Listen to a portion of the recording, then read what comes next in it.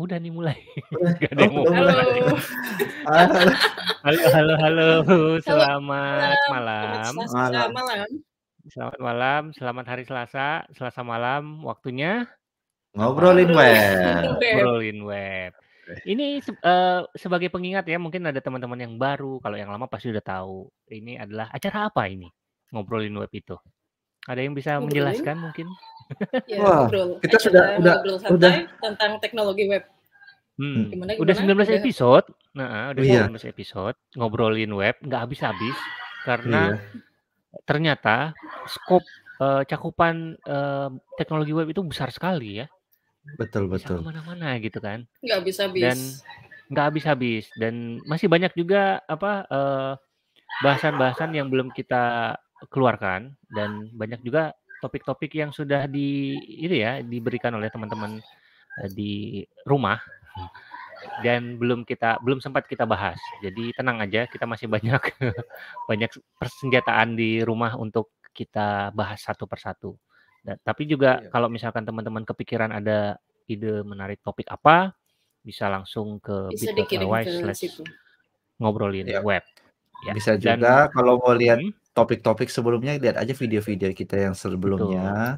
iya. Itu uh, kita bahasnya sudah banyak sekali mulai dari apa tuh fonts, CSS, island Image. architecture, Mm-mm. image, apalagi ya. event loop, Service wah, worker. service Service worker, worker.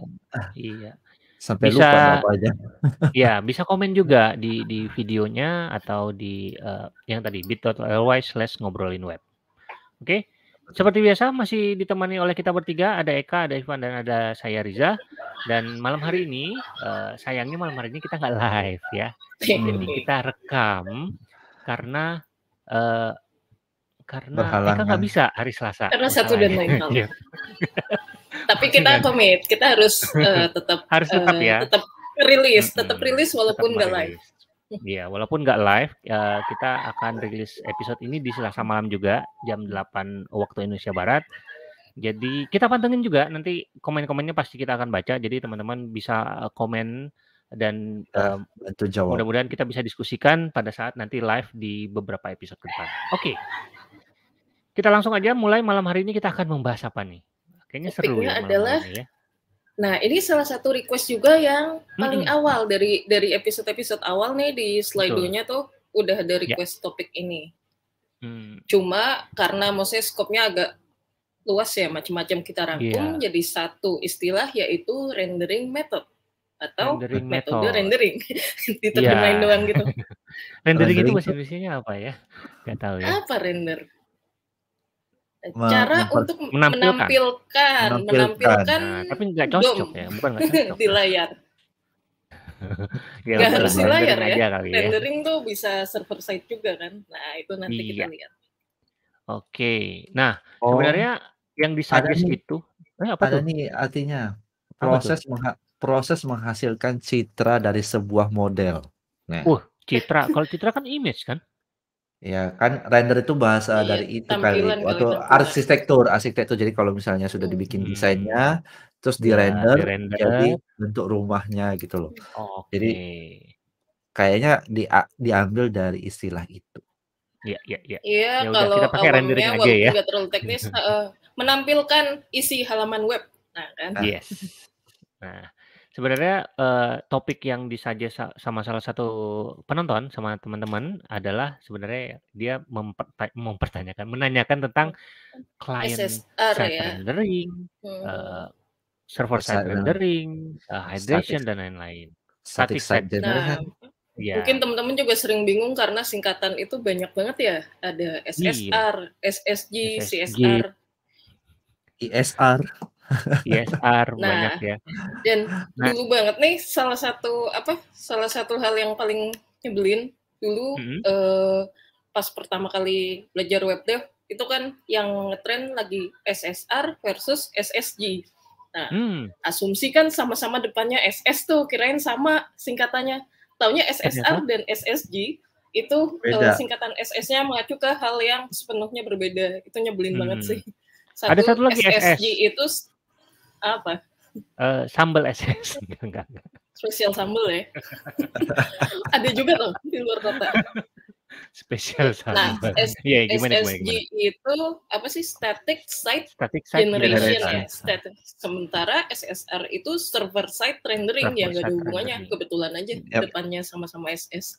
Hmm, hmm, sama-sama Nah, dari- Nah, jangan nah jangan sampai terjebak di apa cuma ngafalin atau eh, stuck di singkatan-singkatan itu cuma kita Mhm. sekarang nih pengen lihat dari awal eh, Ya, sejarahnya jadi- rendering di web itu gimana sih sampai bisa jadi ada banyak banget gitu yang kadang definisinya dan bahkan penggunaannya overlap ya bertumpuk-tumpuk maksudnya bisa bisa berubah-ubah bisa Ya. pakai beberapa cara sekaligus Hmm, nah iya, iya, mulainya iya. dari mana nih sekarang Oke, kita eh, bahas tentang eh, perjalanan web dulu aja kali ya. Jadi kan di awal itu seperti yang teman-teman tahu atau mungkin ada yang belum tahu, eh, HTML, eh, CSS dan JavaScript pada dasarnya di awalnya itu adalah dokumen statis gitu ya. Isinya HTML, ada tautannya atau link atau anchor gitu kan. Diklik ke dokumen kedua.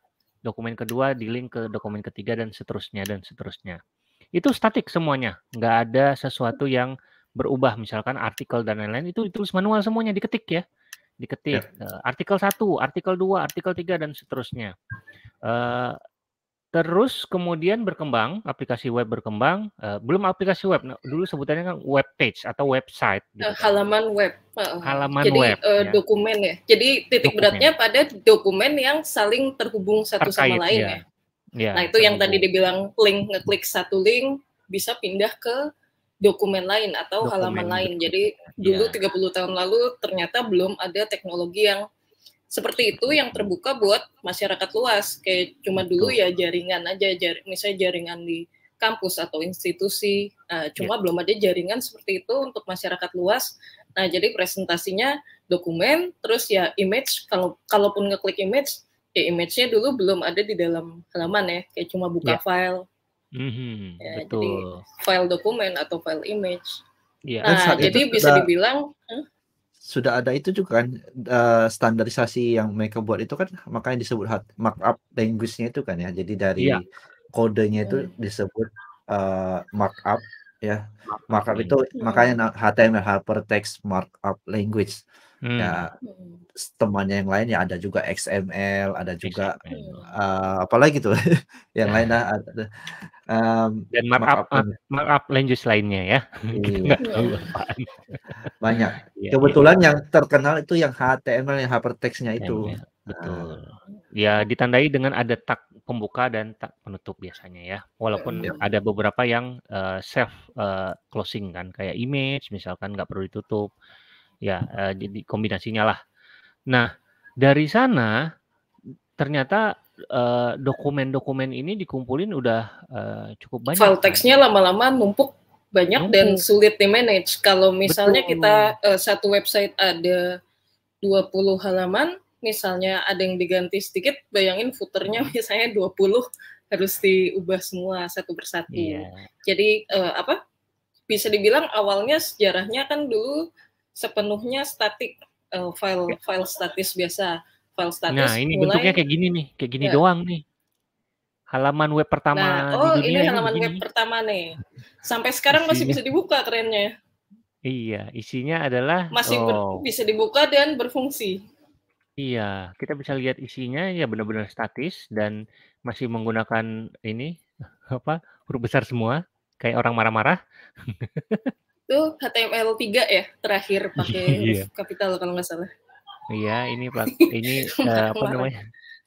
Eh bisa diklik menuju ke eh, halaman sebelumnya, eh halaman eh, ini halaman berikutnya atau eh, Wih, dokumen ya. dokumen yang kita mau. There is no top to the World Wide Web. Wih. Tapi kita nggak bisa nggak ada itu nggak ada navigasinya mau balik gimana? Kita pakai back button. Iya. Ya ini masih sederhana sekali gitu kan. Kalau Hmm. misalkan nanti katakanlah kita mau update nih, mau tambahin uh, about us misalkan, ya kita harus ketik manual ya di text editor gitu.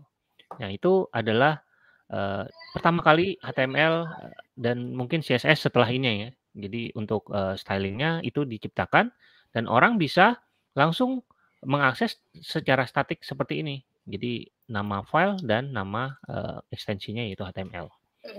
Ya sama Gitu. kayak file image yang misalnya kita punya sekarang di file system atau file bla bla bla dot txt bla bla bla dot html ya beneran yang disimpan di server adalah Betul. file statisnya. file statiknya. Karena Jadi, lama-lama karena lama-lama Mhm. pusing, akhirnya Iya. dibuat teknologi Index. server side ya. biasanya biasanya kan eh, di indeks dulu kan. Wah, si ini punya artikel ini, si itu punya artikel itu. Nah, muncul layanan-layanan seperti kalau dulu Yahoo itu dia indexing eh, si halaman web yang tersedia publik secara publik gitu kan. Nah, orang capek tuh lama-lama bikin in- apa lihat indeks itu kan kayak lihat buku telepon kan. Harus kita cari A sampai Z gitu kan. Yellow pages lah. Iya. Yellow Kayak Pages, kita nggak kayak kita LS di apa Unix ya. Maksudnya dulu Iya. masih eh, mindsetnya tuh masih kayak file system banget ya Hmm, karena iya, sejarahnya jadi- emang statis. Betul. Iya, setelah itu baru muncul mesin pencari. Jadi orang nggak perlu cari dari A sampai Z indexing kayak gitu, jadi mesin pencari. Nah, setelah itu baru berkembang lagi kebutuhan apa? Kebutuhan dokumen atau aplikasi web eh, bukan aplikasi, masih halaman web ini itu butuh eh, lebih Dynamic. dinamis. Iya, Iya. butuh misalkan eh, saya punya arti, dua artikel awalnya. Terus saya menulis artikel ketiga, masa saya harus tulis manual, tambahin di navigasi, tambahin di halaman yang ini, Header, tambahin footer, layout. sini, Wah. iya, eh, header, footer dan lain-lain gitu kan. Capek akhirnya eh, di- Kita minta tolong diciptakanlah komputer buat eh, rendering Iya. on the fly. Tapi dulu namanya eh, cuma bisa di server side ya. server side. Jadi eh, di server dia akan mengenerate se- setiap ada permintaan, saya minta halaman index dong, index.html. Dia akan mengambil eh, halaman index terus dia akan mengenerate eh, hal-hal yang dinamis. Misalkan artikelnya yang dua, yang tadinya dua, kita akses besoknya menjadi tiga dan seterusnya dan seterusnya. Pakai semacam parsial ya namanya dulu. Betul. Namanya Iya. server server side scripting. Yang paling pertama itu dulu server side scripting itu pakainya Perl. Perl, PEL. CGI, Ya. Common Gateway Oh. Interface. Nggak nyamanin. Nggak ngalamin Iya. juga sih, cuma tahu aja. Ya. Perl, Perl CGI Perl, Perl, programming. Perl. Masih Yap. masih ada tutorialnya dong. Ya masih Perl itu masih ada. Ada maksudnya yang sampai sekarang nih masih banyak Mm-mm. Eh, biasanya dynamic content juga, with CGI. Oh, iya, biasanya juga si server side rendering ini eh, itu dikombinasikan dengan database. Jadi kontennya atau isinya, artikelnya itu disimpan ke database dan kemudian setiap ada request ke sebuah halaman, maka dia akan Ambil query ke data dari- database, diambil Yap. artikelnya, Lakukan query. Hmm. Iya, digabungin Tampilkan. apa di ya halamannya dibuat gitu ya dalam tanda kutip di Iya. render baru dikirimkan ke klien gitu. Jadi isi teks HTML tag yang kayak tadi kita lihat itu dibikin uh, programmatically on the fly oleh Iya. si program si server itu. Mm-mm, ada for loop-nya, ada macam-macam, ada kondisi kalau ini dia warnanya merah, kalau itu warnanya hijau dan lain-lain ya. Termasuk juga sudah mulai muncul JavaScript walaupun penggunaannya hanya untuk eh, hal-hal sederhana. Masih baru seperti- client side ya lagi kan. Iya, nampilin eh, informasi, alert, eh, Alert. form validation dan lain-lain. Baru sampai di situ gitu. Nah, di Karena dulu di juga fase- masih belum standar juga kan JavaScript ya, masih browser war. Betul. JavaScript di Netscape belum Ya. tentu sama dengan JavaScript di Internet Di Explorer. Udah pernah Explorer. bahas tentang browser, juga Browser. sebelumnya. Ya, Ya. Nah, di dulu episode pernah di episode berapa sebelumnya. tahu deh. Mm-mm. Nah, di di di fase ini eh, salah satu yang populer, walaupun masih populer juga sampai sekarang adalah eh, PHP. Ya. Ada yang tahu kepanjangan PHP? Personal homepage. Ah, Awalnya sih personal homepage. awalnya, awalnya, Awalnya. awalnya Oh, PHP itu adalah terus scripting sekarang- ya, bahasa Ya, scripting sekarang ya. pre-hypertext processor. Ih, Oh, baru ya, tahu. ganti Oh, ya. Rada Iya. maksa sih, cuma ya udahlah. Ini, ini kalau di website officialnya bahkan eh, P, P yang di depan udah dihilangin, cuma PHP titik dua hypertext preprocessor. Preprocessor. Jadi Tinggal HP. Iya, eh, itu kan kan kalau yang open source open source itu kan banyak yang apa ya istilahnya ya rekursif ya, bukan ya? Jadi eh, kayak KDE, K de- eh, desktop environment, K-nya ya tetap K aja, nggak ada apa-apa gitu. Iya. Modelnya kayak gitu. Ya, intinya adalah Modelnya ya udahlah, yain aja. ya eh, selain Perl yang mungkin kurang populer karena memang agak uh, secara developer experience kurang kurang ini ya, kurang agak susah ya kita develop di sana. Tidak, dan bahasanya itu, juga rumit ya. Paul itu dibuat oleh saya, saya lupa namanya yang buat, namun uh, learning curve-nya tinggi. Learning curve-nya tinggi. Iya, akhirnya sulit gaining traction. Sama yes siapa ya? Oh, si Om siapa yang bikin PHP kok gue lupa sih. Lah tiba-tiba ngeblank. Oh, Om, Om Rasmus Lerdorf. Nah, oh, iya, itu yang Rasmus. bikin. Ya, Om Rasmus masih masih aktif loh sampai sekarang. Nah. Hmm. Iya, iya, iya. Nah, kalau teman-teman penasaran Perl itu kayak gimana ya? Kalau mau icip-icip tahu regex nggak? Nah, itu salah satunya. Hasil dari Perl. Perl itu yeah. memang sangat powerful digunakan untuk uh, string atau text manipulation. Jadi memang ya. uh, apa namanya uh, spesialisasinya di sana. Jadi Salah satu untuk yang bisa nge-code Paul itu dia sangat low level, ya. Dia low level bukan sangat, dia low level. Jadi semuanya harus serba kayak uh, stepnya banyak untuk melakukan ya. melakukan sebuah fungsi. Makanya muncullah yang lebih high level. Contohnya ya. uh, PHP yang PHP. menyerupai cara codingnya si C++. Hmm, gitu. Iya, udah satu satu family ya uh, iya. secara bahasa ya. Pakai kurung kurawal, kurung bulat, function, kurung bulat, uh, ada parameter dan lain-lain kan. Nah, PHP ini berjalan di atas web server, ya kan? Antara kalau dulu terkenalnya Apache, Apache. kalau sekarang Nginx sekarang kayaknya bisa. standar ya di ya. Indonesia tuh banyak Apache. PHP itu bukan uh, programming language. Iya. scripting language, scripting, scripting language. language. Mm. Jadi dia, dia harus butuh interpreter, dia itu interpreter. Iya. Jadi yeah. apa yang jadi instruksi yang kita tulis dengan PHP akan di, harus ditransform dulu layer selanjutnya makanya ada namanya PHP handler ya. Ya, ya si modul ya, modul ya. Ya, Bukan, FPM lah atau kan? modul ya ada yang merubah dari scriptingnya si PHP, yeah. interpreternya PHP ke bahasa mesin. Jadi yes. uh, apa istilahnya itu? Perantara yang lebih Bukan low levelnya apa eh, interpreter. Interpreter. Iya. Intinya uh, si PHP tidak bisa dijalankan, maksudnya tidak bisa men, uh, menjadi web server sendiri, harus butuh yeah. antara Apache atau Engine X yang Engine ada X. modul PHP-nya. Jadi dia bisa mengerti hmm. PHP uh, eh, scripting PHP-nya. Kira-kira seperti Jadi itu. Jadi PHP nggak bisa berdiri berdiri nggak bisa berdiri hmm. sendiri. Dia harus dibungkus sama executable-nya. Siapa pun Tapi sekarang udah bisa kan? Enggak juga.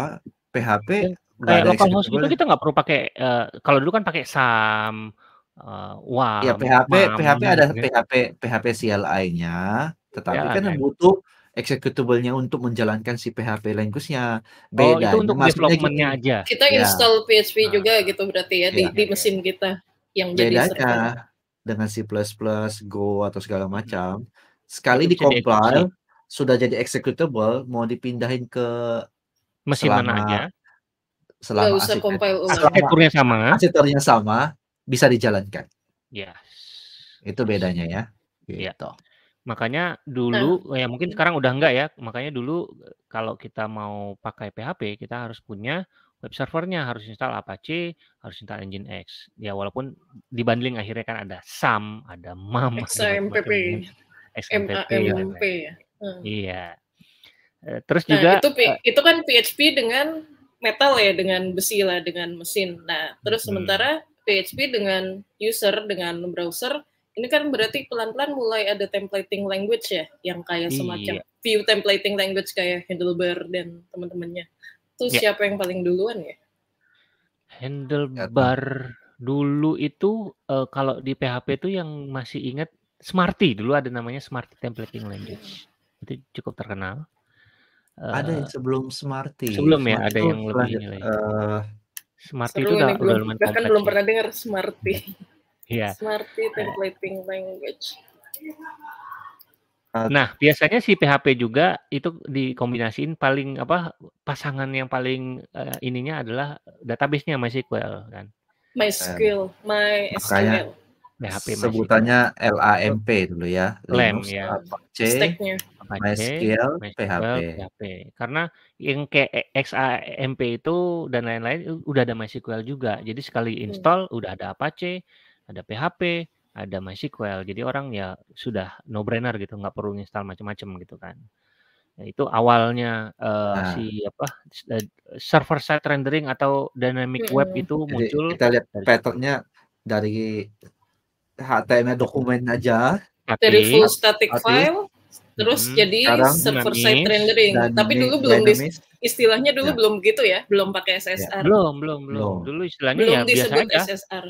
Ya, web aja gitu. Uh, web server sama uh, ya di eksekusinya di klien. Ya, dynamic dan itu dynamic. disebutnya server side rendering.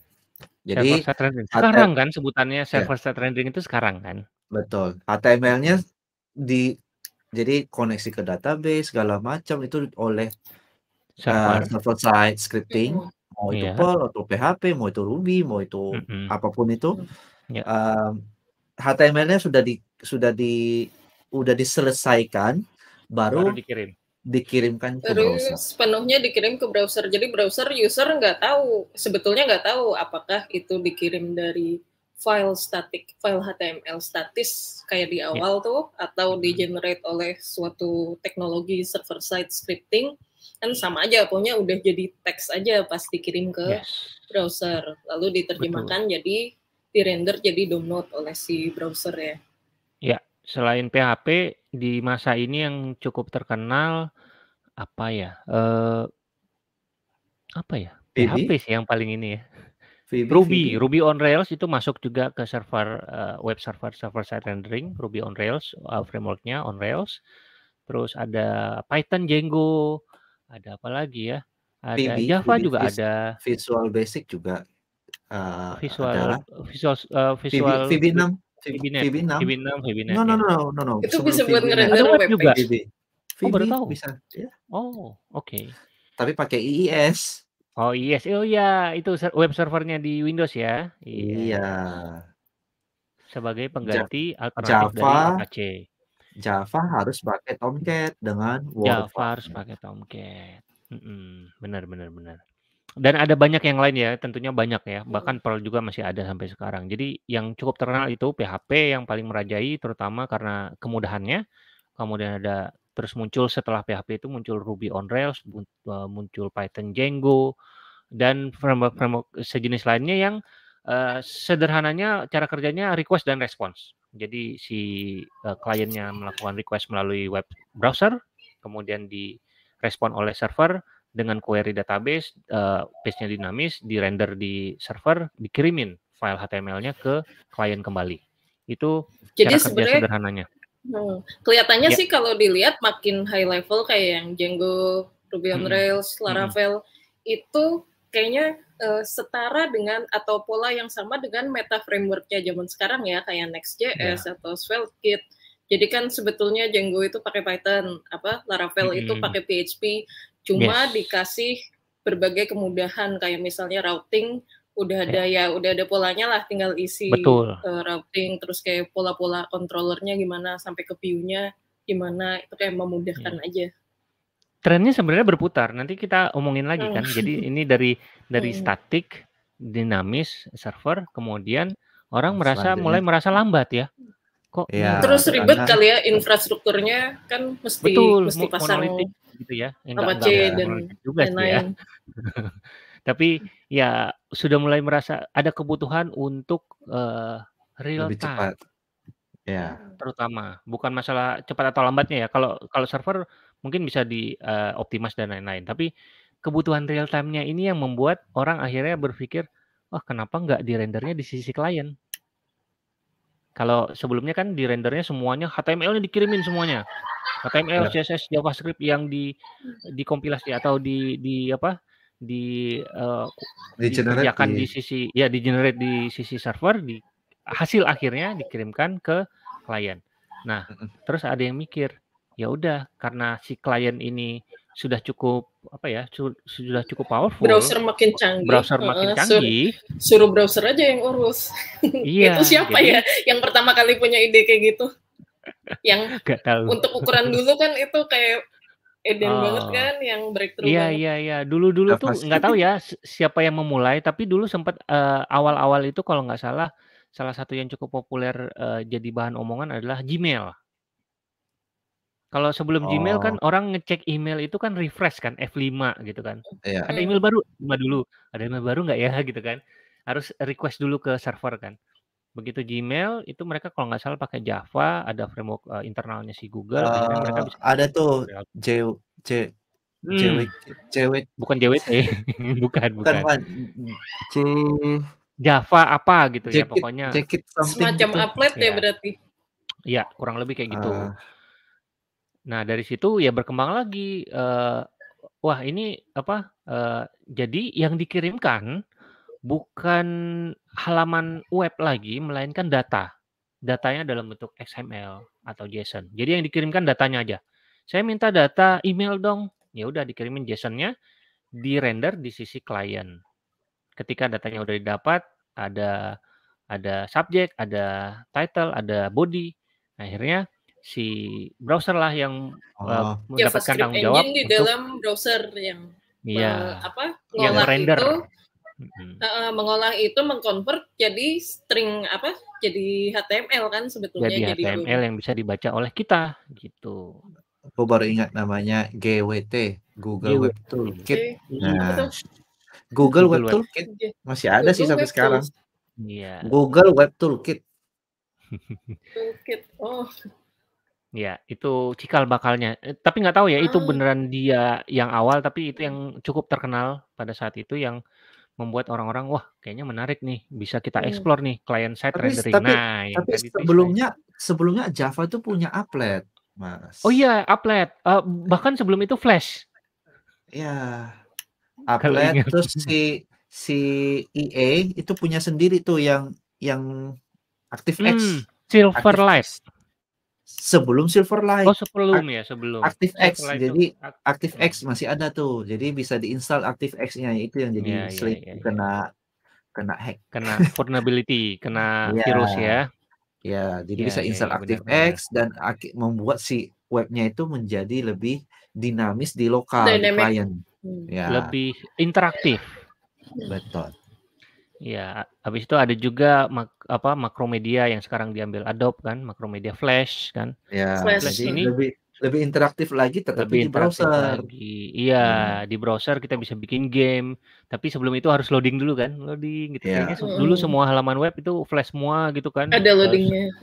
Ada loadingnya, loading screen dan lain-lain gitu. Dia download dulu si apa si SWF-nya ini kan, engine hmm. untuk renderingnya Terus si Tapi si... dia isolated ya, dia nggak bisa uh, apa berinteraksi sama DOM node di browser kan.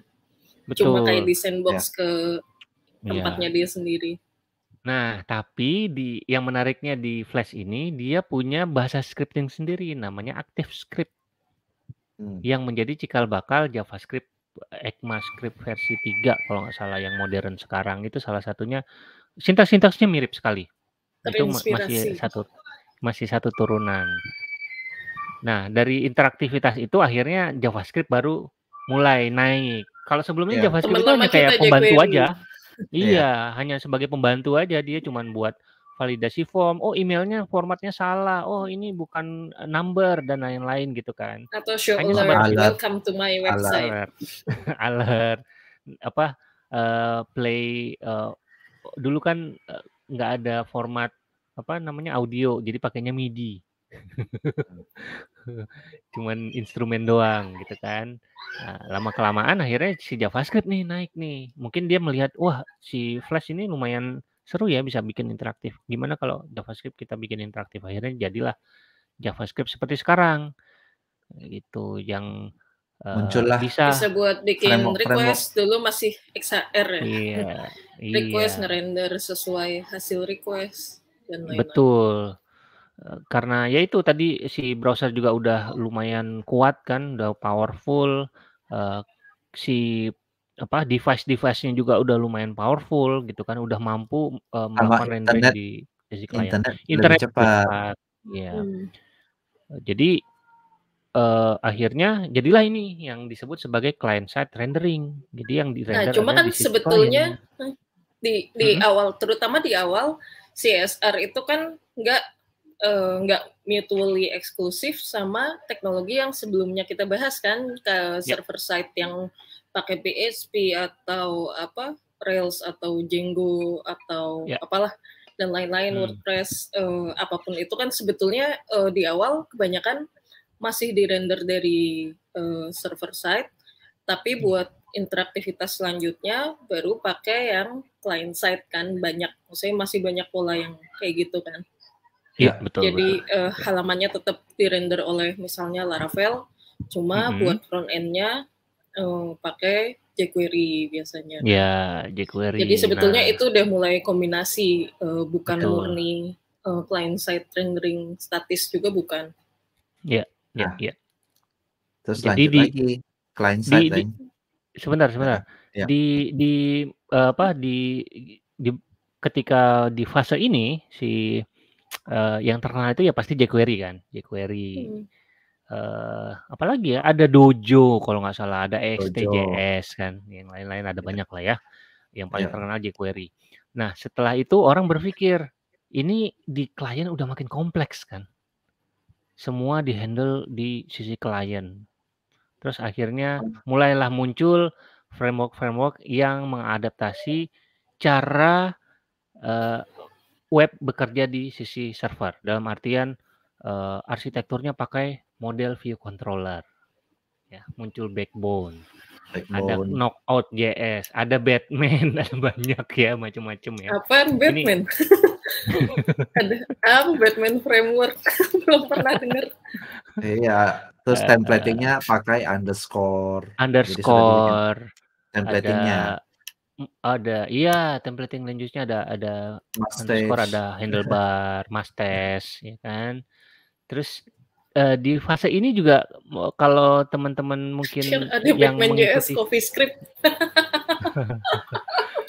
ya, di zaman ini ada satu framework yang akan menjadi cikal bakal framework kekinian. Namanya Raktif, R A C K T I V. Itu yang buat adalah Reseris. Yang oh, akhirnya menjadi Svelte sekarang. Ya. Oh. Itu dia buat di uh, di waktu dia bekerja di uh, sebelum di New York Times. Jadi dia bekerja di uh, media juga, media online oh. juga. Nah, dia bikin reaktif. Habis itu dia pindah ke New York Times, akhirnya dia bikin uh, Svelte gitu. Itu uh, awal ceritanya di situ. Oh, nah, dulu dia di Guardian. Guardian, The Guardian, ya. Jadi uh, ini si framework-framework ini udah mulai merasa butuh karena semuanya dihandle oleh klien. Akhirnya muncullah state management, Uh, waktu itu belum belum terlalu terkenal ya state management ya. Kalau yang kayak pakai Backbone, Knockout.js itu belum ada ya. Mungkin ada tapi nggak uh, udah di-include sama si framework ini. Dan nggak terlalu rumit kan karena apa ya. orientasinya dulu awalnya masih banyak ke server side. Uh, ekspektasinya uh, state-nya itu di-handle di server lah pokoknya. Betul. Jadi ini nggak uh, apa belum zamannya uh, uh, ada state management dan lain-lain dan belum zamannya tadi mau ngomong apa ya jadi lupa. Uh, oh ini virtual DOM belum ada tuh. Jadi semua manipulasi oh. DOM langsung aja.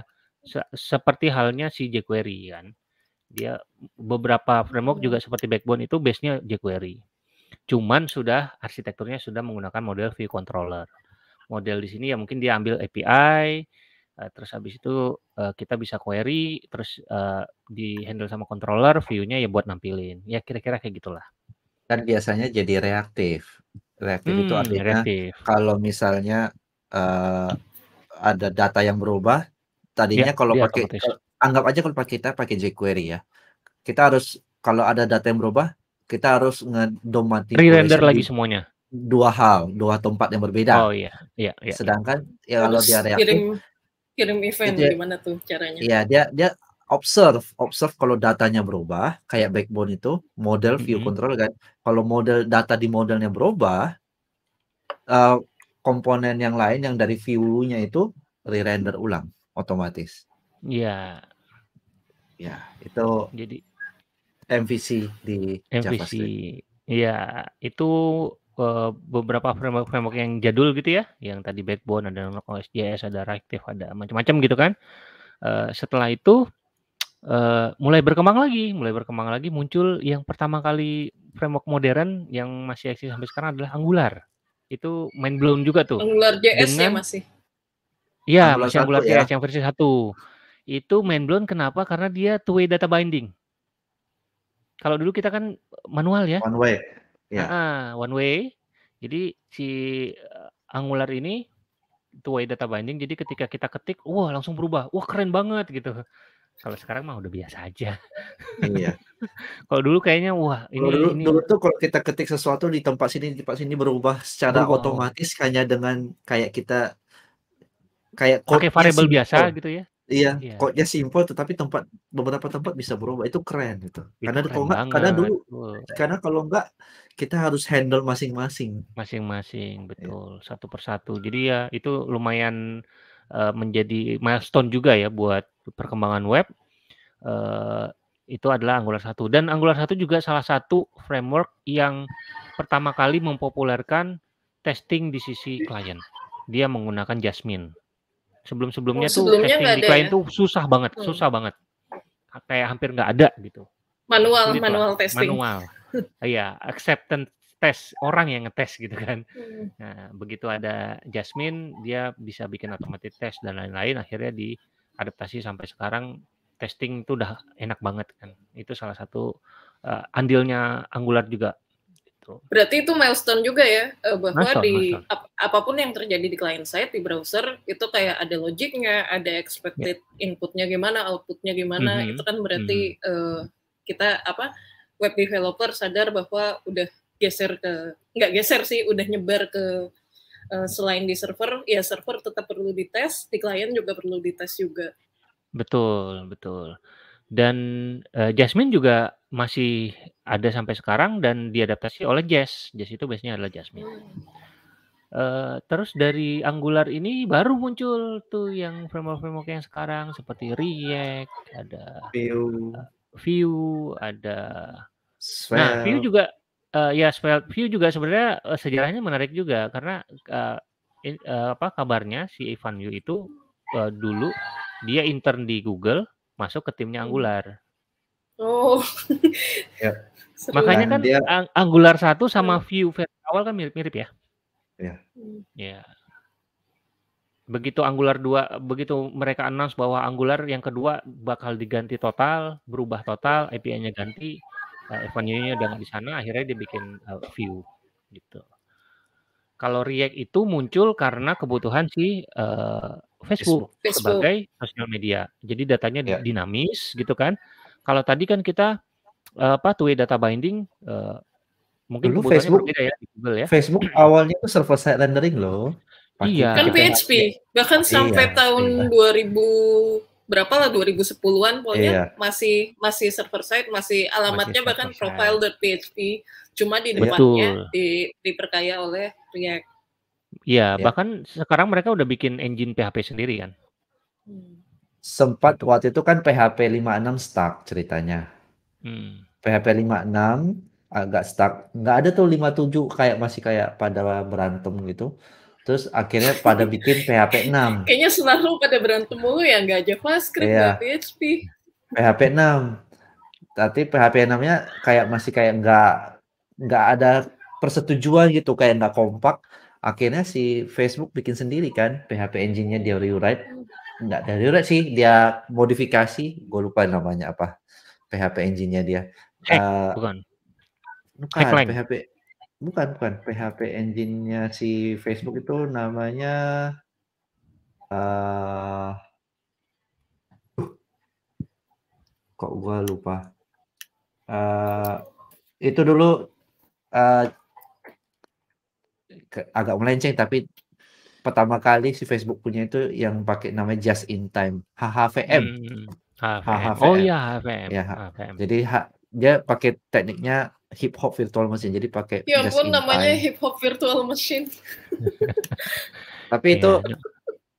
jadi cepet banget memang nah fast forward PHP 7 keluar maka semua udah nggak ada. karena sudah kompak lagi semua. Hmm. udah dimasukin uh, udah diintegrate. Oh, iya. polanya mirip ya. kayak ECMAScript ya jadinya. Betul. Kayak sejarah ECMAScript yang dulu pernah kita bahas di episode berapa tuh? Iya. Mm -hmm. jadi ya itu si React ini muncul karena kebutuhan uh, sosial media yang datanya dinamis sekali kan? Dinamis uh, ada chat baru ya, ada like baru. Ada like baru ada feed baru dan lain-lain gitu kan. Makanya si React ini muncul dan dia uh, mau kan dia mau mengutamakan developer experience kan. Kalau misalkan yang uh, sebelumnya menggunakan two data binding, ternyata itu uh, bagus, uh, menarik uh, secara developer experience, tapi kabarnya uh, secara performa kurang karena dia harus apa istilahnya tuh ngecekin ini lagi kan tiap kali ada perubahan dia cek uh, semua halaman dan cek itu semua. berat gitu kan.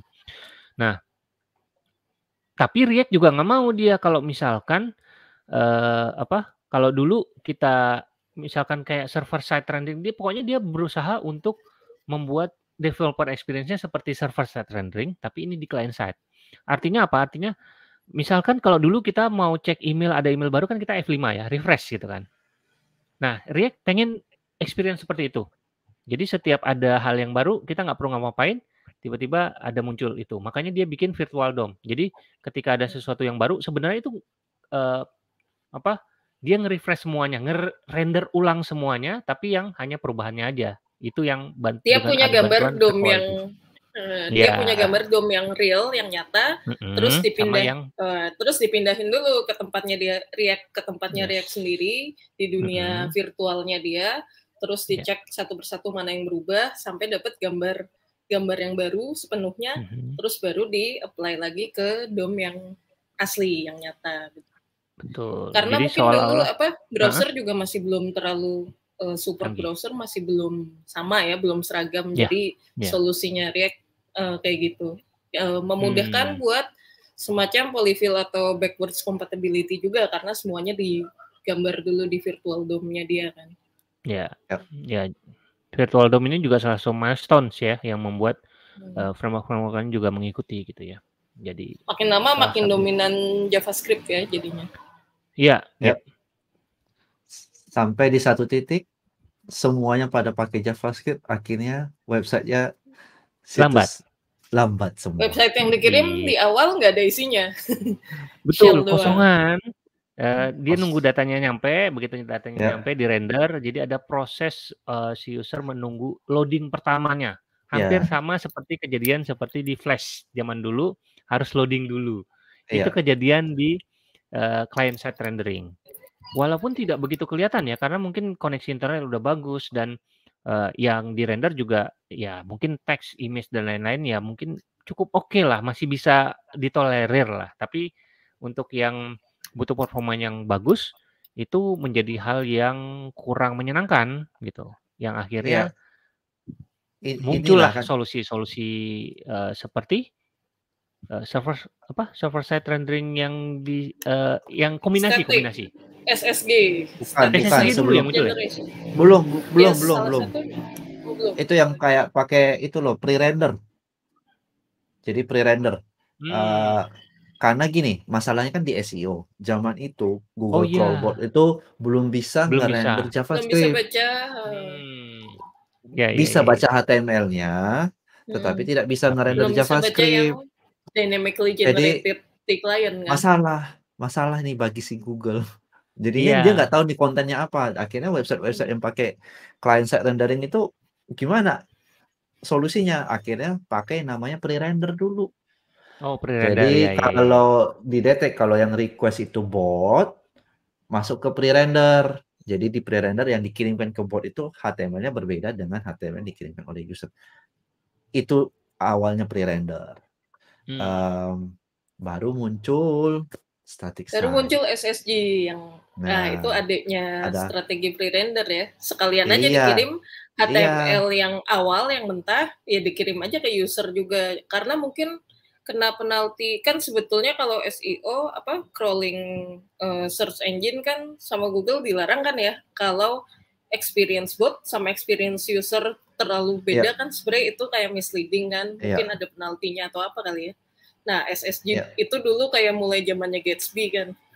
Iya, Gatsby itu yang paling terkenal enggak. awalnya SSG hmm. atau apa itu sebelumnya? Sebelum itu udah ada. Oh, ada. Ada, ada Jekyll. Oh ya Jekyll, Jekyll, Jekyll betul. Ada Jekyll. Itu Jekyll Hugo banget. berarti ya temennya. Se segenerasi. Sat enggak, Jekyll duluan. Hugo itu hmm. hampir hampir segenerasi dengan Gatsby. Gatsby hmm. terkenal karena dia di ekosistem Banding JavaScript sama React, Gatsby.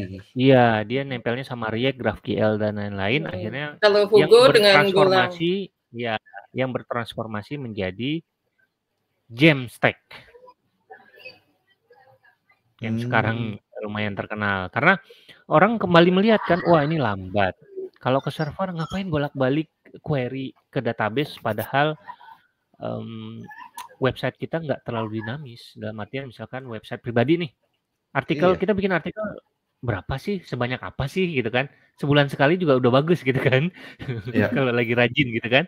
Jadi ngapain harus ke, setiap ada request harus ke server dulu, ke database, balik ke server, baru ke klien gitu kan. Terlalu terlalu uh, banyak makan resource. Akhirnya ya udah yang bisa jadiin statik ya distatikin aja. Terus habis itu yang ininya artikelnya di generate secara otomatis sekali aja. lagi.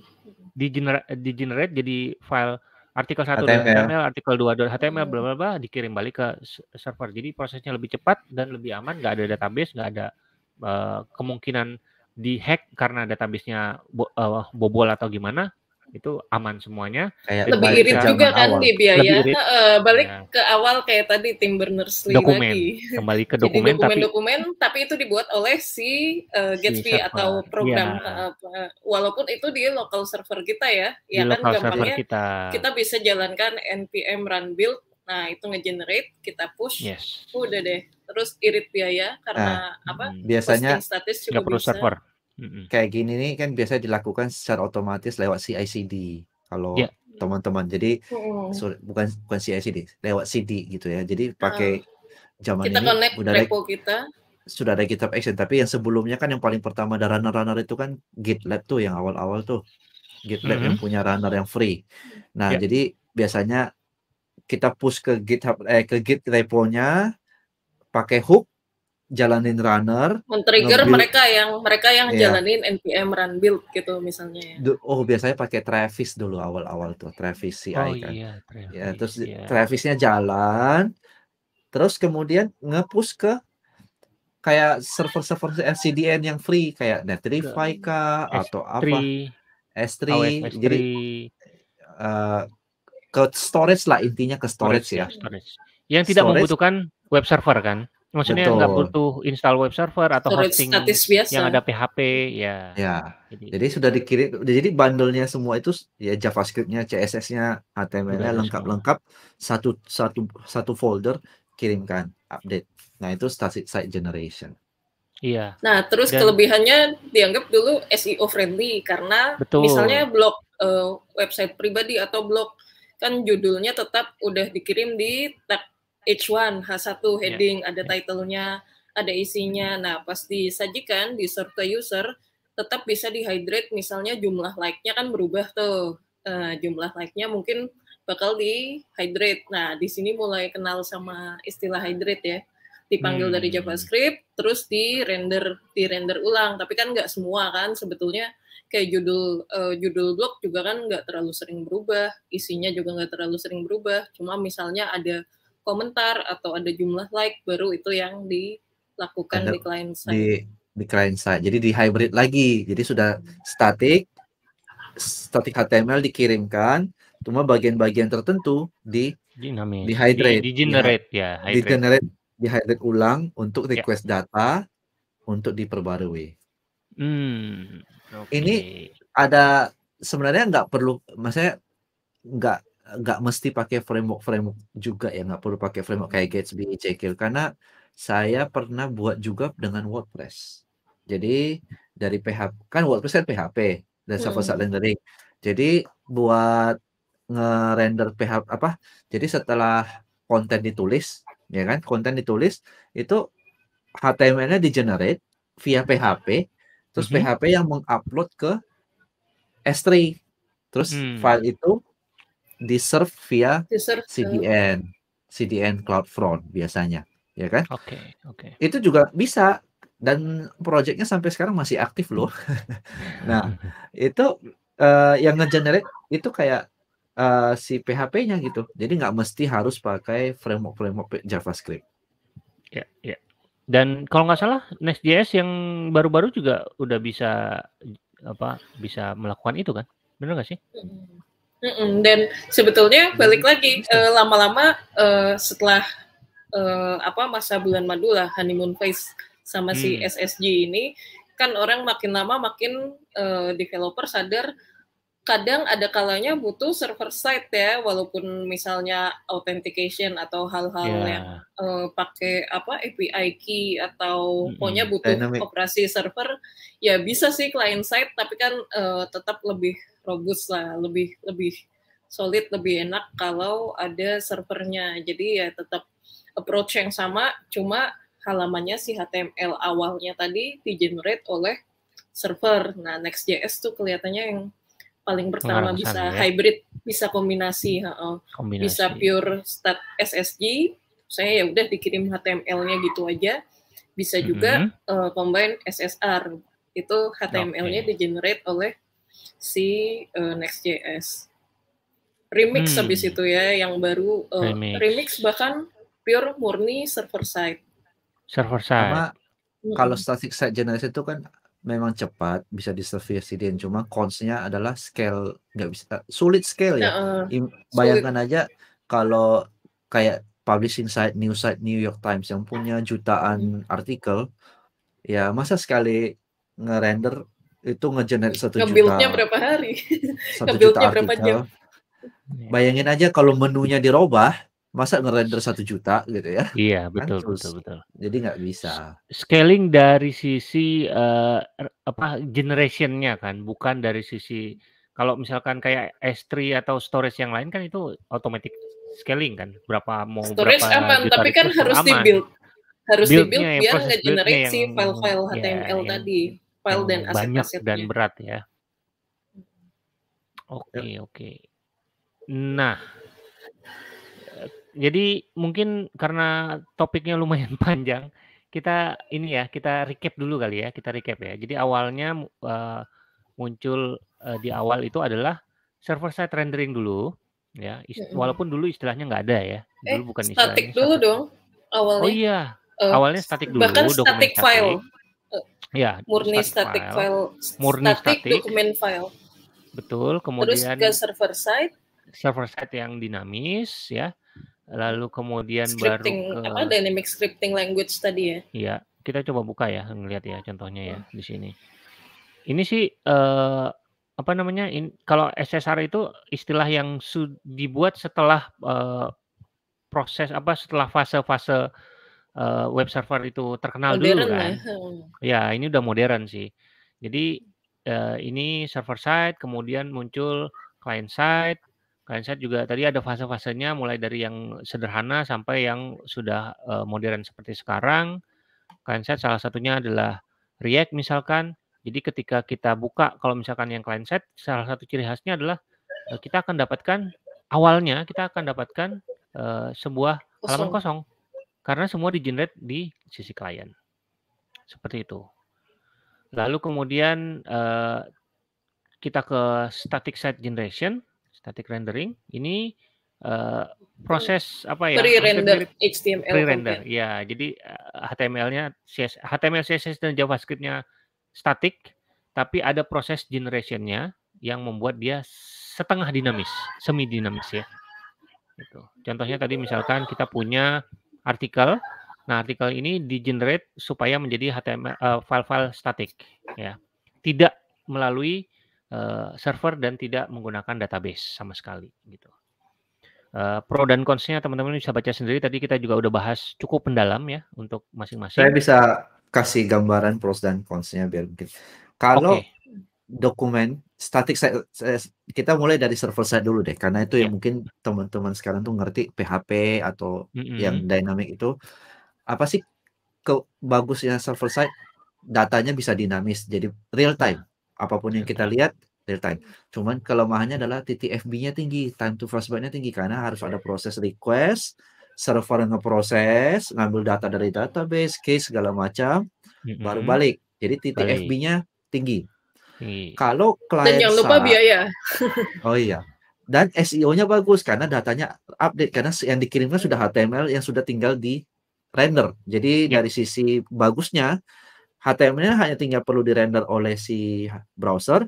Jadi FCP dan LCP-nya secara side performance bisa lebih baik ya. Hmm. Kalau client side rendering itu yang dikirimkan server kan tidak perlu ngeproses apa-apa. Dia cuma kayak kirimkan ini HTML kosongan, ini JavaScript-nya, ini datanya, kirim yeah. uh, render aja nih gitu. Jadi TTFB-nya bagus. Cepat. Karena cepat. Jadi nggak perlu bahkan bisa di case oleh si CDN dengan bagus karena hmm. sudah datanya sudah ada di CDN semua. Yeah. Jadi cepat banget. Nah, tapi blocking time-nya bakal tinggi. Ya, kelemahannya FCP dan LCP-nya uh, set performance ya untuk user bisa melihat uh, kontennya butuh waktu sampai JavaScript-nya selesai di-download. Betul. Ya kan? Uh, downside-nya SEO secara SEO kurang bagus karena uh, crawler itu harus mendownload JavaScript yang besar dan ada crawler itu punya uh, budget untuk ngedownload itu. Kalau dia nggak kita keblok gara-gara itu maka konten kita nggak bisa dibaca. Hmm. Balik lagi ke static site. Static site itu uh, TTFB-nya bagus karena bagus. Uh, HTML-nya sudah di udah di case, sudah siap. udah jadi, ya. udah, siap tinggal dikirimkan. Uh, udah jadi file. Uh, LCP-nya kalau misalnya JavaScript-nya nggak berat ya, asumsi nggak berat, LCP-nya bagus. Jadi secara hmm. SEO juga bagus, kontennya sudah jadi semua. Yeah. Kelemahannya adalah kalau file-filenya atau uh, publishing site yang yang besar uh, akan akan uh, akan makan waktu untuk ngegenerate ulang. Build time-nya, hmm. uh, build Jadi time-nya build time-nya scalability-nya kurang bagus. Dan satu sisi uh, datanya tidak real time karena tidak bisa time. jadi harus di ya, lagi. Jadi nggak masuk akal untuk uh, website atau web app yang banyak konten user generated kan, nggak mungkin tiap hmm. misalnya apa kayak Medium Ada atau blogging baru. site hmm. yang usernya banyak, setiap orang ngepost artikel baru generate ulang yeah. semua. Iya, yeah. nggak mungkin. Itu recapnya. Oke, okay, oke. Okay. Jadi uh, itu pro dan consnya. Kalau penggunaannya, kapan kita perlu menggunakan uh, server side? Kapan kita perlu nah, website apa web, biasanya, web seperti apa? Biasanya bagi teman-teman itu, terus yang bagus yang mana, Mbak, iya. Mbak Mas? Terus saya harus pakai yang mana? Bullet, gitu. Server bullet. Padahal sebenarnya semua bisa bisa diakalin dalam tanda kutip ya. Misalkan contohnya, wah static set generator ini nggak bisa bikin uh, mungkin kurang bagus, bukan nggak bisa ya, kurang bagus untuk uh, yang di, sifatnya dinamis. Nah sebenarnya bisa juga. Misalkan nih, kita bisa bikin aplikasi e-commerce dengan uh, SSG. Gimana caranya? Ya SSG-nya biasa, client terus kemudian sisanya semua. Sisanya client side.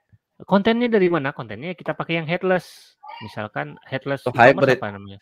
Berarti yang dikirimkan cuma yang dikirimkan cuma yang yang yes. di static yang di generate shell-nya doang.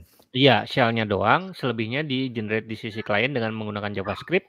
Dia cek ke API, oh ini ada data baru, data item atau barang-barang yang mau di render di halaman satu yang mana, munculin gitu. Itu bisa. Tapi secara SEO belum tentu belum bagus tentu, karena belum tentu. Uh, balik lagi pre-render. Uh, berarti server side uh, balik lagi bolak-balik yeah. kita kan.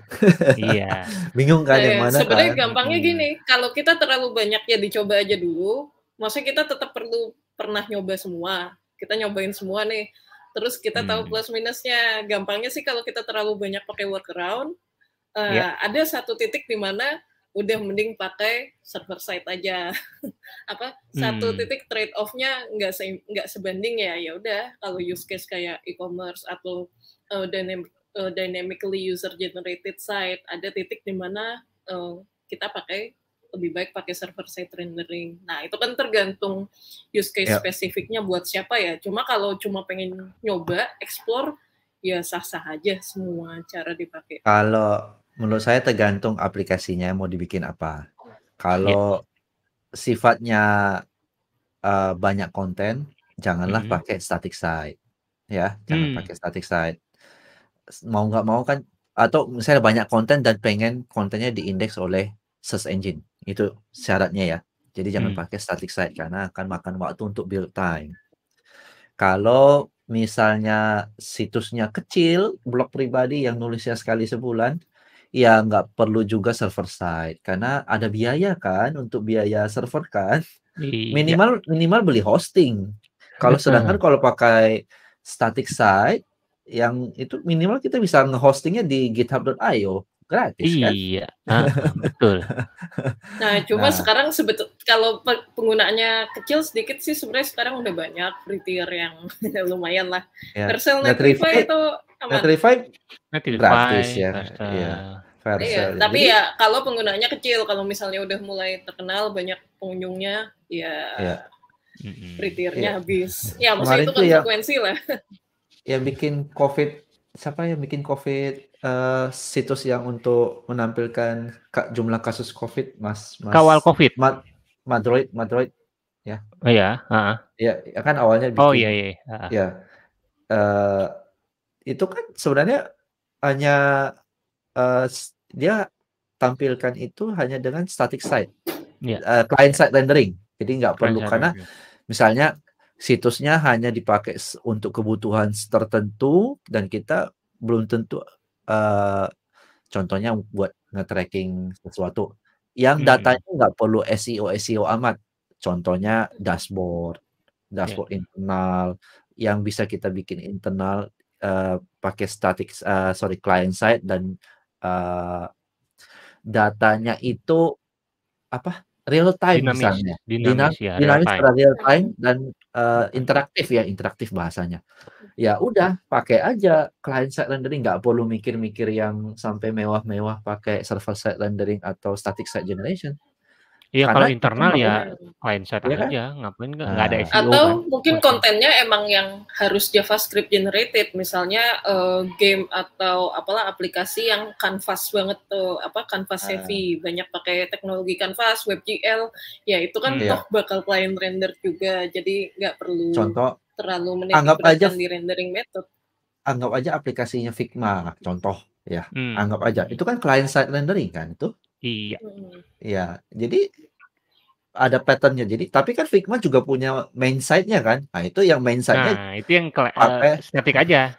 Ya, static SSG. aja main site-nya. Ya. Marketing site, marketing site static aja SSG. biar cepet dan uh, hemat. Blok blognya pakai server side, pakai aja WordPress, beres kan? Jadi tergantung situasi. Jadi satu yeah. satu domain pun bisa satu banyak. Uh, mungkin halaman utamanya static site, blognya set, uh, server side, mm -hmm. uh, aplikasinya sendiri client side. Hmm. Itu kegunaannya. Wah, jelas ya. Sekali ya. Ada lagi yang seru nih, ISR kita belum bahas nih si Apa incremental static rendering. Incremental static rendering. Nah, ini kelihatannya dipopuler dipopulerkan sama Next.js ya kalau nggak salah. Ini ya ISG uh, ini, bukan? ISG, iya. Uh -uh. ISG ya. Jadi ini terobosan yang lumayan baru sebetulnya. Kalau tadi kan SSG dibuild sekali, habis itu ya udah kalau misalnya ada konten baru nge-build ulang semuanya. Kalau misalnya satu website punya uh, eh, 300 artikel atau 300 konten, harus mm -hmm. build ulang semua 300 keseluruhan ya semua 300 halaman itu. Nah, ISG ini uh, memungkinkan bahwa nge-build ulang cuma halaman yang berubah aja. Nah, oh. cuma ini relatif baru sih. Relatif baru ya. Namun ada Jadi kayak, ada kelemahannya, ada kelemahannya di sini kalau yang berubah itu kalau yang berubah itu elemen yang ada di seluruh page, tetap di harus seluruh page ya, mau mau nggak mau render ulang. Contoh menu, iya. logo, navigation gitu-gitu ya. Iya, navigation. Iya, tetap uh, Cuma ini membantu aja sih alternatif buat enrich ya misalnya kita belum terlalu butuh belum selevel uh, media kayak New York Times atau Guardian. Maksudnya kita hmm. belum uh, sebesar itu. Cuma emang pengen uh, nggak nge-build misalnya tetap personal site sebetulnya cuma blog pribadi aja cuma ya misalnya kita mulai produktif lah tadinya ngepost sebulan sekali sekarang jadi sebulan tiga empat kali terus kita mulai hmm. males kalau harus nungguin ngebuild semua kalau yang berubah emang cuma satu bagian satu pos. Uh, misalnya yang kalau kita cuma nambah satu pos kan yang perlu dirender adalah misalnya halaman indeksnya sama yeah. Yeah. halaman uh, posnya itu sendiri ya. Asumsi Betul. kita nggak kita nggak banyak widget atau sidebar atau apalah. Kita cuma hmm. punya website sederhana. Ini kan uh, bagus buat di X sih buat developer ya. experience-nya ya. Developer kita ya. bisa lebih produktif bikin post baru tanpa males, aduh ngebuildnya lama. Yes, hmm. itu lumayan. Terus kalau okay. untuk server side rendering juga ini uh, apa? Uh, kita bisa ngakalin uh, biaya uh, atau beban dari server side rendering sebenarnya diakalin dengan cache. Kita apa? Cache. Um, manfaatin cache sebisa mungkin. Jadi yang di serve adalah cache. Jadi lebih cepat juga. Oh, ini yang di yang benar-benar dimanfaatkan oleh Remix ya, kalau nggak salah ya. Mm -hmm. yeah. Dia menggunakan Remix dan Next.js. Dan Next.js, oke. Okay. Uh, uh, mereka Gimana punya kayak dengan... sintaks yang memudahkan caching. Oke. Okay. Gimana dengan uh, framework baru seperti Astro? Astro dia pakai arsitekturnya Island ya, Island architecture, Island architecture mm. ya.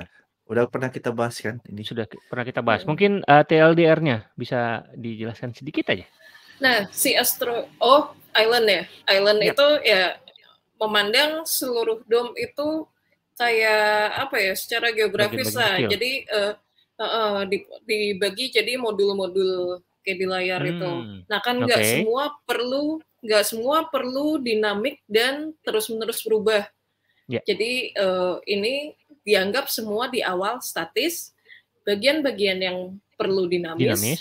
Uh, di hydrate atau di uh, domnya diubah atau ditimpa uh, dengan JavaScript saat butuh. Oh, Jadi saat butuh itu okay. apa? Bisa waktu pertama kali di loading, misalnya waktu mm -hmm. suatu blog post pertama kali muncul, kita pengen tahu jumlah like-nya kan harus nampilin yeah. uh, di like yeah. berapa orang, yaitu begitu loading bisa di uh, langsung panggil. Atau bisa juga nggak usah dulu, misalnya komen kan paling bawah, kan belum yeah. masuk viewport tuh belum tentu user hmm. scroll sampai bawah jangan ngeboros jangan bikin boros apa total booking time ya itu yeah, uh, yeah. apa biar biar main thread JavaScript browser bisa ngerjain hal lain ya udah biarin dulu nggak usah melakukan apa-apa kalau user mulai scroll ke arah uh, ke bawah ke arah komen baru JavaScript-nya muncul dan beraksi dan uh, nge-fetching apa ngambil data komen terus nge-replace uh, domnya di browser hmm. dengan isi komentar. Oke. Okay. Pasti saya bisa ini... scroll sedikit. Jadi dia kayak hybrid, scroll lagi ke bawah sedikit. Jadi si si framework ini akan menentukan mana yang harus di server sorry, yang tadi yang bagian yang tadi. Naik atas naik atas sedikit. Yap, stop. Nah, jadi si framework itu bisa menentukan yang mana yang perlu di render di server, yang -hmm. mana perlu di render di client. Jadi contohnya untuk page layoutnya di render server side rendering, mm-hmm. title-nya server side rendering, blog mm-hmm. kontennya itu uh, sudah static site, dia static. sudah sudah static, dia sudah case secara static. Dan untuk beberapa uh, uh, tempat dia sudah di server render, cuma belum di hydrate. Hmm. Mungkin dia perlu interactivity, ya, perlu interactivity, dan hanya di hydrate saat itu muncul di viewport. Oke, berarti ini sederhananya gabungan antara server side rendering dengan server side generation. Benar gak? Dan ada iya. client side dan ada, ada client, side, rendering, rendering juga. Iya. Ya, pokoknya gabungan semua yang tadi iya. kita ceritakan gitu ya. Iya, hmm. betul. Menarik sekali. Ini ada contoh frameworknya, ada Marco, Astro, ada Elefanti yang bisa di Yang dulu bikin yang apa si kreator Angular bikin lagi apa tuh? Quick. Dia island juga kan ya? Kalau ya. nggak salah iya. Atau bukan? Ya, iya. Quick, Quick, quick Island. Tulisannya gimana? Quick gini. Quick, ya, Quick. K W I K. Ah, quick uh, builder.io kalau nggak salah kan? Nah ini dia benar. Iya. Iya, itu kalau nggak salah ya. Kreatornya Angular bukan sih? Lupa. Angular betul. Misko ya, ya, Dia, dia ini kok Uh, Island Architecture betul. Island ya? Iya. Dia ada tulis di sini ya. Dia kan yang yang diutamakan ini yang ini kan resumable ini kan. Iya. Uh, codingannya. Jadi makin lama React. makin banyak kombinasinya ya. iya, jadi ada dari semua semua pendekatan itu di ya kayak base of both worlds lah kayak dicomot mana yang bermanfaat mana yang uh, banyak dibutuhin di mix yeah. semua betul oke nah terakhir terakhir sebelum kita apa sebelum kita tutup ya yang tadi udah ada server ada ada ada yang lain-lain teman-teman bisa ke patterns.dev untuk melihat uh, metode-metode apa contoh-contohnya uh, teknik, sama detailnya. Mm -hmm, sama detailnya ada ada yang bahas macam-macam juga Nah, ini ada ada sesuatu yang menarik di uh, beberapa bulan belakangan. Jadi kan tadi di awal kalau server side rendering itu ngirimin semua static site-nya yang di-generate di server ke klien semua kan, TML-nya. Eh, ya, kontennya semua kontennya kan. Hmm. Kemudian berubah di client side itu yang dikirimkan adalah datanya. Tapi dalam uh, dengan apa ya mengirimkannya dengan request dan response kan.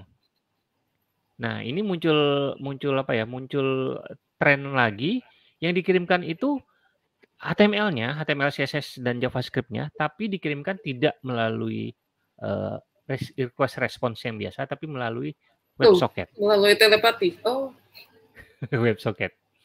Hmm. Ya, ini ada contohnya di sini, namanya Unpoly.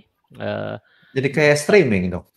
Iya, kayak streaming. Iya, kelebihannya berarti speed dan kayak observability juga ya, berarti betul, itu secara nggak langsung kan? Dia sebenarnya di render di server, tapi dikiriminnya ke, pakai WebSocket jadi agak lebih cepat dibandingkan server side rendering. Uh, ini ada beberapa contoh, ada Unpoly uh, yang sifatnya lebih unopinionated, unopinionated atau Hotwire. Hotwire ini uh, ngumpulnya bareng si Ruby on Rails yang bikin yang dibikin oleh Basecamp kan. Hotwire. Ada satu lagi, nah ini uh, dia beradanya di mana? Dia beradanya di antara server side rendering dengan uh, eh, SPA. Jadi dia ada di tengah-tengah sini. Jadi di, di hmm. secara halaman itu tetap di uh, server yang yang harusnya cukup cepat. Kemudian uh, tapi secara interaktivitasnya bi bisa menyaingi single page application. Hmm, menarik. Iya, it's an Ada HTML over lagi. the wire and no JSON API ini baru ya. Jadi ada oh. ada tadi Hotwire, kalau nggak salah Laravel juga ada namanya apa ya? Livewire kalau nggak salah. Ada nggak di sini? Kenapa mirip-mirip namanya? Iya, Livewire ya itu developer ya. Kayak ini kayak aplikasi apa zaman dulu Livewire. Nah, ini Hotwire. Kalau teman-teman uh, tertarik uh, ini uh, apa implementasinya di mana? Uh, kalau nggak salah hey.com itu email kliennya si uh, Basecamp itu menggunakan si, satu layar. Iya. Uh, dia menggunakan frameworknya namanya Stimulus, framework JavaScript-nya. Kemudian ada Django juga ada, Sock Puppet. Kemudian untuk Phoenix Elixir ada namanya LiveView. Lalu itu semua pakai oh pakai WebSocket, nice. Pakai WebSocket. Ini bukan pakai HTML, bukan HTTP, ah? Kenapa? Itu Laravel LiveWire tuh. LiveWire, betul. Itu LiveWire. Yes ada oh. juga dan unpoly yang uh, ini yang sifatnya unopinionated ya. Jadi framework uh, apa namanya agnostik bisa dipakai di mana aja. HTMX juga ada. Oh, HTMX, HTMX tuh kayaknya sering oh, muncul yes. Sering HTMX, disebut ya, ya. Sering disebut ya HTMX ya. ya, ya. Nah, itu uh, trennya ke arah sana. Kita nggak tahu ya uh, yang mana yang lebih populer nantinya, tapi ini alternatif aja karena kalau di server uh, renderingnya pasti cepat. Tapi proses kirim ke HTTP-nya lambat. Eh, kurang bisa interaktif. Kalau misalkan kayak diklik kayak gini ya, retweet atau like gitu kan, uh, apa namanya? nggak uh, bisa kan kalau di server kan, harus refresh kan gitu. Nah hmm. ini di tengah-tengahnya, jadi dia tetap bisa update tapi tinggal kalian pakai WebSocket, terus ya. meringankan kerja apa uh, JavaScript engine di browser karena nggak harus betul. parsing apa-apa ya muncul betul, dikirim udah jadi HTML Ya, jadi yang yang okay. kerja beratnya tetap Makin server. banyak ide aneh-aneh orang yang bikin Kenapa WebSocket? Ya, kenapa WebSocket? Kenapa nggak HTTP? HTTP kan dia request response kan, harus ada uh, proses uh, refreshnya gitu kan. Kalau WebSocket dia kan kebuka terus uh, koneksinya kan. Iya. Jadi ketika ada update ya udah dia bisa bisa komunikasi lagi gitu. Kalau kalau HTTP kan dia begitu request, respons udah nyampe, udah dia putuskan koneksinya kan. Kalau kita mau Dan kalau mau baru, lagi kita ya harus, harus connect lagi. Awal, dari ya. awal lagi. Jadi ini adanya di tengah-tengah gitu. Jadi ya sebagai alternatif juga selain pattern-pattern uh, yang kita pelajari tadi Mungkin di sini lebih ke streaming server side kali ya? Masuknya ya? Iya. Benar sih? Namun Heeh, ada streaming mungkin. Ada kekurangannya? ada kekurangannya sih dengan WebSocket. Artinya, eee, servernya harus kuat karena Betul. eee, WebSocket itu harus keep alive. Iya, dia buka terus ininya, jaringannya, Iya. apa, eee, koneksinya ya? Koneksinya dan kalau nggak bisa pakai CDN ya, rata-rata CDN Ya. itu nggak bisa sih contohnya kalau Betul. CloudFront itu nggak bisa Iya. nggak bisa keep alive, Mhm. eee, jadi harus connect langsung ke load balancer. Nah, jadi load balancer-nya teman-teman harus kuat. Iya. Karena Orang gini, infranya eee in intinya orang infranya kudu jago ya. Kalau Iya, nggak bisa apa nggak sengaja nge-DDoS itu sendiri. apa Maksudnya istilahnya rawan kayak, rawan, eee eee kan satu satu kan connect-nya kan tetap lewat load balancer. Nah, load balancer-nya Iya. itu harus kayak punya bandwidth yang besar karena harus bisa Mmm. simultaneous user kan depends ya, tergantung Iya, berapa benar banyak. Jadi kalau Mhm. WebSocket semua yang dibuka ya harus kuat. Iya iya iya iya, Tapi ya memang cepet sih. Iya. Eee, dari sisi klien juga lebih ringan kan, karena yang, eee, bertugas melakukan rendering itu adalah pekerjaan yang paling berat itu di sisi server kan. Jadi klien tidak Ya. terlalu diberatkan untuk, eee, rendering-nya, ya gitu. Oke. Kita sudah 1 jam lebih, ada ya lagi Wow. yang mau didiskusikan? Enggak, udah. Tidak ada?